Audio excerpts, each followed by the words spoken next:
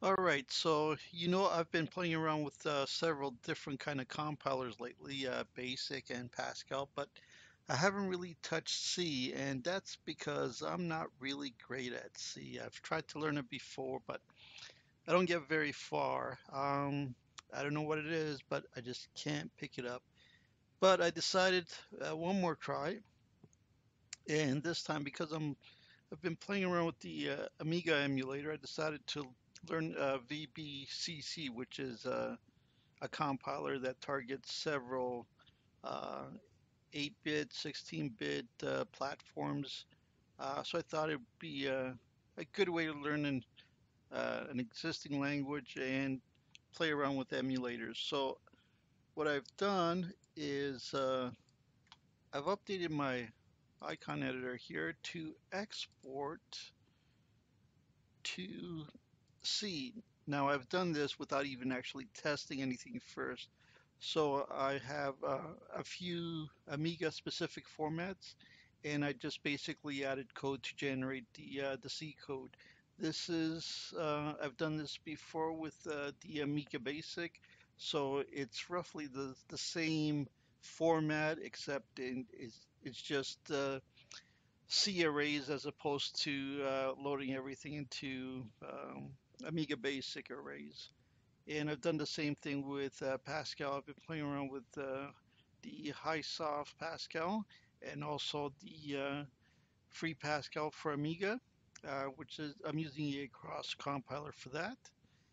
And so I thought I'd try doing the same thing with C. And uh, I spent the whole day basically uh, trying to figure this out. And uh, well, I think I've uh, managed to do something. It might not look all that impressive, but here we go. So if this looks familiar, let me just uh, bring this over. So this is an image I just drew and basically exported to, let me bring up the uh, option here. So I exported to a bitmap array and let me just show you how that looks.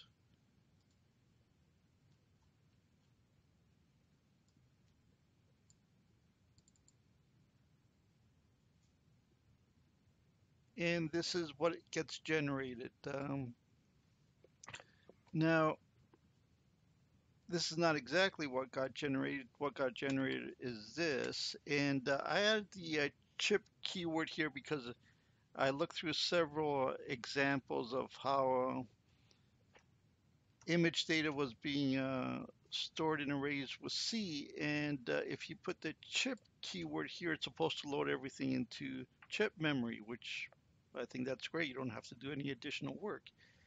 But with the VBCC, um, it just doesn't seem to support this. Uh, it looks like it doesn't load anything into chip memory. So what I've had to do is just write a little bit of code here. And this took me forever basically because I'm not a C programmer. Um, this, uh, you know, casting things like this, uh, unsigned word, pointer, um, it just uh, hurts my brain.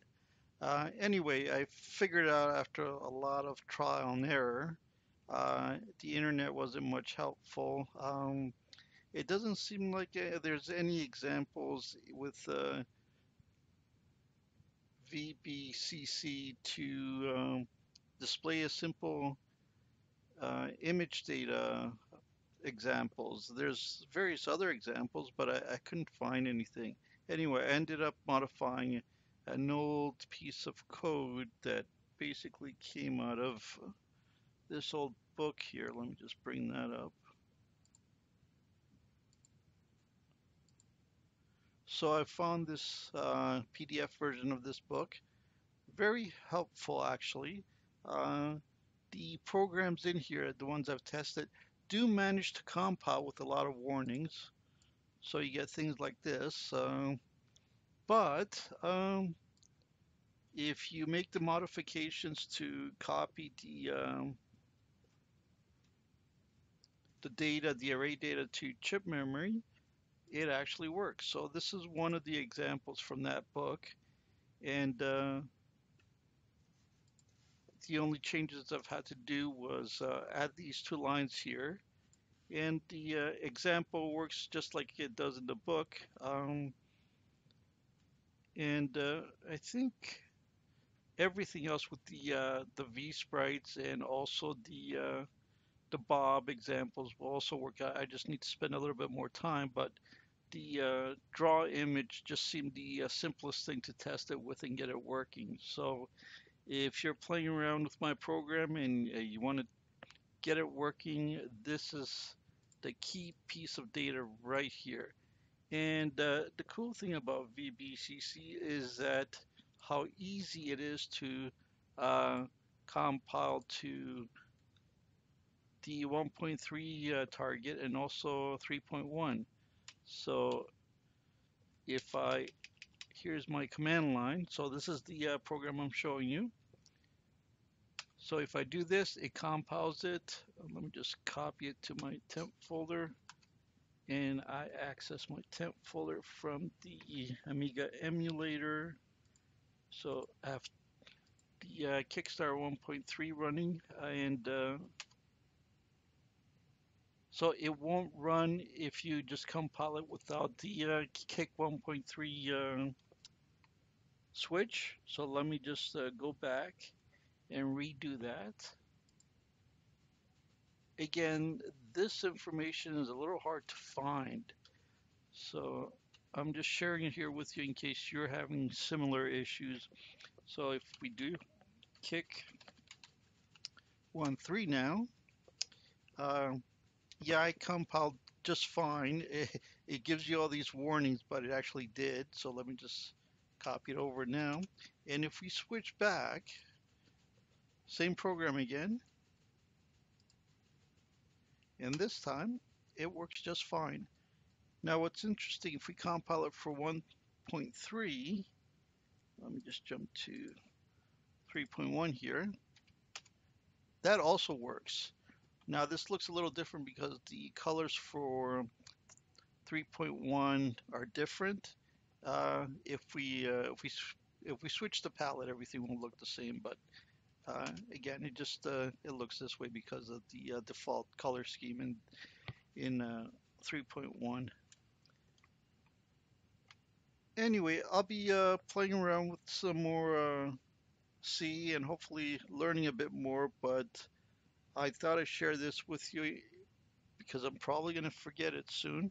Um, so if anybody's having any trouble with the uh, VBCC compiler, uh, here's my command line. So uh, I found that if you use the dash, dash L auto and dash L Amiga, it works for most Amiga programs. Um, and I've tried a few programs that are intended for the uh, SAS compiler, and uh, they seem to compile. You do have to change a few things, uh, but overall, it seems to work okay. I, only that uh, chip keyword uh, isn't supported, or if it is, and I'm doing something wrong, somebody let me know. And I think that's where I'll end this video. And uh, thanks for watching.